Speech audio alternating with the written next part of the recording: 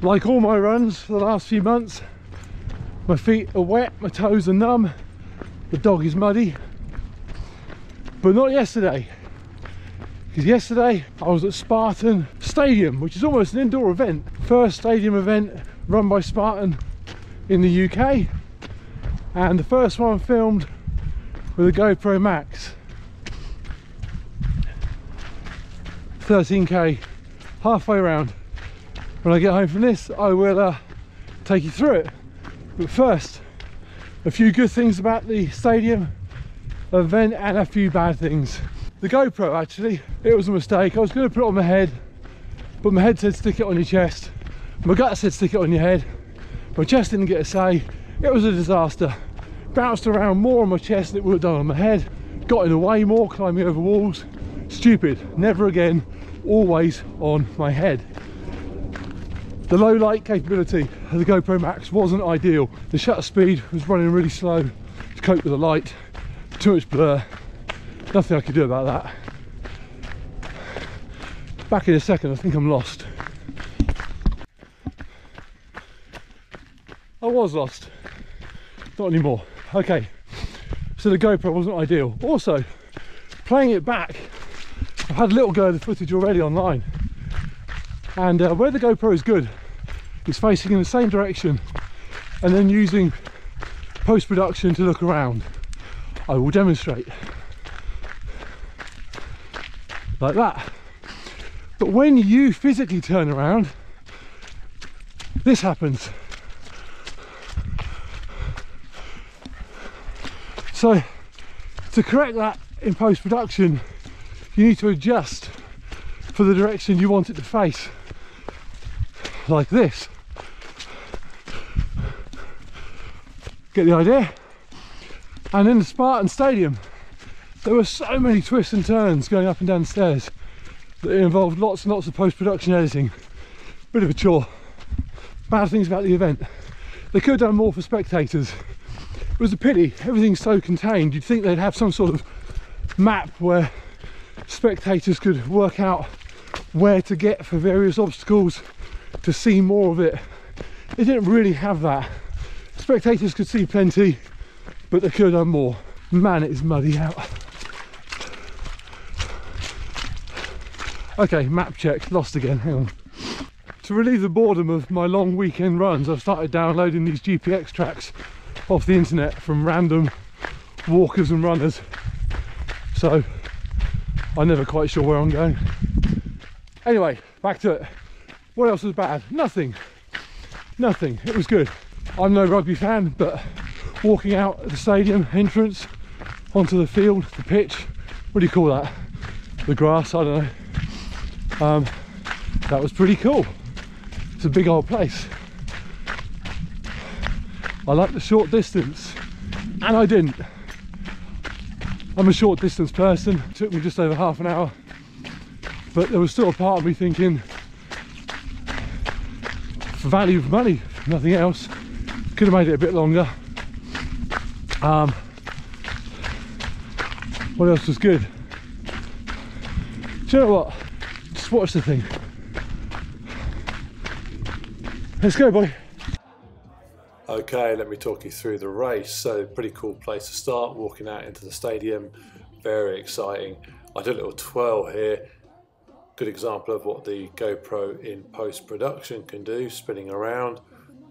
But if you don't do it in post-production and you just turn around, what happens next is what you're left with, which is effectively me walking into my own shot. So there I am, hello my chest, rather inconvenient, but GoPro oddities aside, let's get running. This is a Spartan sprint distance, so they said it was 6k probably closer to four and a half, maybe 5k. Nobody I spoke to said it felt anything like 6k. 22 obstacles dotted about all over the stadium, taking us straight away indoors and the GoPro not liking the low lighting, blurry as hell, useless. Uh, hurdles, some of these obstacles you'll recognise if you've done any other Spartan distances. Uh, some of them are specific to the sprint though, or the stadium rather. They used the building well actually, they took us all over it. Uh, a lot of stair use, a lot of running through the aisles, the stands. People worried in advance about the amount of elevation that would cause, but to be honest, if you would rather run up a hill outside than a, a stair indoors with a railing that you can haul yourself up and down, uh, you're nuts. This was far easier than climbing regular hills. So as I say, obstacles that you'll recognise, the hurdles, and then obstacles that are new. The first one of those is the slam ball. Pick up a medicine ball, stick it above your head, slam it on the floor. Repeat 15 times. Pretty straightforward. Uh, so straightforward that I'll speed this up because watching me do it is probably more boring than it was to actually do it 15 times and we are done and off. A lot of it undercover because we're up in the stands, which was good because it was raining and that made the concrete really slippy and horrible.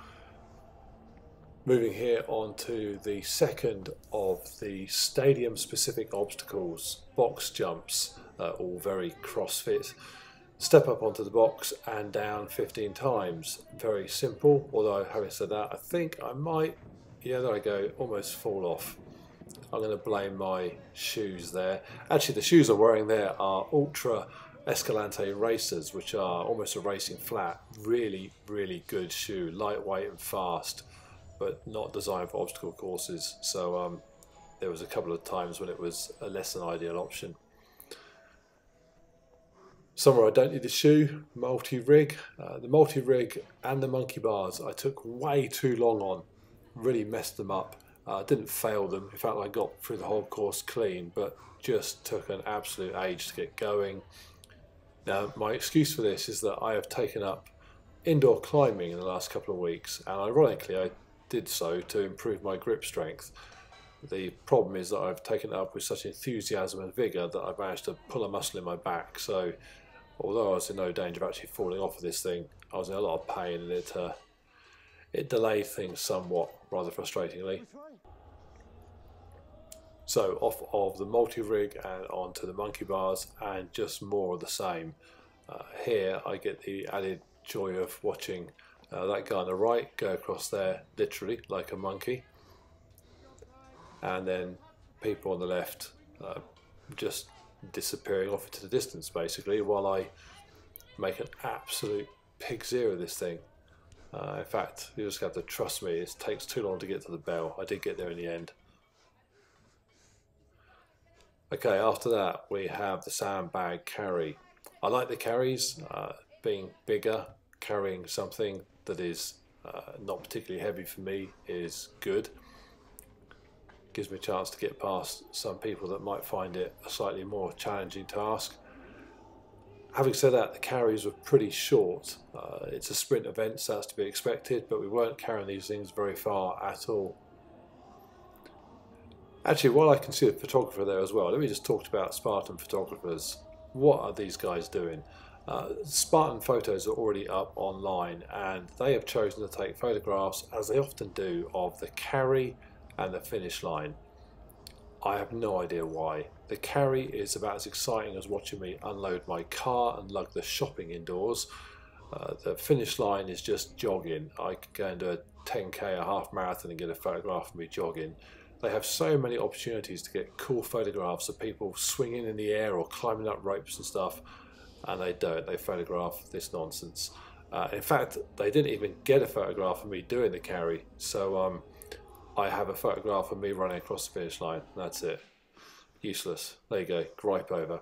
Uh, back indoors, and this was actually quite fun. It's just a, a new environment to be running. It feels like I'm, well, I am running around a shopping centre almost. It was just, um, yeah, just a nice change. And again, banister, you can haul yourself up. People moaning about the elevation on this course. Uh, this is a million times better than, than a hill, unless you can find me a hill that's got a, a stair rail beside it. Now, top of this obstacle, uh, top of this stairway, is another stadium specific obstacle, the skipping rope. And as I approach, I'm a little bit worried because I'm looking at the two guys at the front there smacking themselves in the head with a rope. I'm looking at other people making a, a real song and dance of it, taking a long time to do each individual skip and I was thinking, what's going on? Is the rope really heavy? Is it is it an odd length that makes it hard to skip with? Uh, they made us wear a band on our legs as though they didn't trust us to skip properly. I was thinking, what the heck is going on here? And uh, and actually, I have no idea because I just did my 15 skips and got out of there. Perhaps everybody else needs to get themselves a skipping rope for Christmas or something. Not sure what they're up to. It was a very Simple, very easy task. About as easy as skipping is probably the best way to describe it. Okay, some more running through the stands. My uh, my wave, the 45 plus age group, pretty small wave, so there weren't too many people in the way. We're catching up here with the people in the earlier wave group, but it was a fairly quiet course when I was out, which was nice. Talking of nice, my favourite obstacle, uh, the empty stairway leaned halfway down, grabbed the balusters and jumped to the next flight of stairs. I learnt this technique in the Butts Shopping Centre in Reading in about 1983. I thought, I know, I'll retain that knowledge and I'll use it when I'm 46 in Twickenham. It was a very, very quick way of getting down the stairs until this chap got in the way. Favourite obstacle, legging it down the stairs, a lot of fun. And then on to the second of the carries, the jerry can carry. Again, don't mind the carries, no problem at all. And again, it was a pretty pretty short distance. You can see we're going out in the rain, which made it a bit depressing. But that aside, a relatively easy obstacle. After that, we had a few more runs around the stadium and then we had what would normally be the barbed wire crawl if it were a regular Spartan event. Uh, I guess there's some health and safety about having barbed wire hanging across the stairways in a sports stadium so we just get bits of string instead, hands and knees under the string and in fact more of an inconvenience than an obstacle, not a big deal at all. And then the spear throw, the only obstacle that I was a little bit worried about failing. Uh, as soon as I saw it though, I realised that it was not going to be a big deal. The bale of hay that you throw the spear into was really close, much closer than a regular spear throw. Uh, it certainly seemed to be anyway. I can't believe it was more than about two, maybe two and a half spear lengths away. So um, I nailed that one. My fourth, maybe fifth spear throw in a row now that I've hit. So getting the hang of that. Something I'm not getting the hang of is the Z wall in the rain. Um, to be fair, this is the first Z wall in the rain I've encountered, and it was horrible. Combination of those foot blocks being wet and slippy, and me wearing my uh, funky new shoes, which are fast and quick, but uh, not designed for standing on little blocks of wet wood. Also got a, another viewing angle here. This is because this is the point where the spectators can see us. So Jenna here filming me. As I mentioned earlier, the, the spectators got a bit of a raw deal here. They didn't get to see an awful lot. Uh, a few obstacles and then the finish line if they were quick. Took a long time the Z wall, got there in the end. Rope climb is a much quicker obstacle for me. I enjoy the rope, no problems there. Ring the bell and on to the A-frame. Uh, A-frame, again, straightforward. Only problem here was that we are getting towards the end of the race now and a few people from the earlier waves were slowing up, getting a bit tired and unfortunately choosing to get tired at the top of the A-frame in the way. So a bit of queuing to contend with. And then once off the A-frame onto the six foot wall, hop over that and then my absolute favourite, I've just realised even more of a favourite than bouncing down the staircase one flight at a time, is the hoist. The only obstacle in the entire Spartan itinerary of obstacles where just being big and heavy and strong is a real advantage. Hoist the weight up to the top, put it down again, and split onto the next obstacle. Love it. Next up is over, under, through. There's the over, the under is coming up. Actually quite a cool GoPro effect here because I roll around the camera. It's as I sort of filmed myself. Not raining on the lens would have been even better, but uh, I can't control the weather.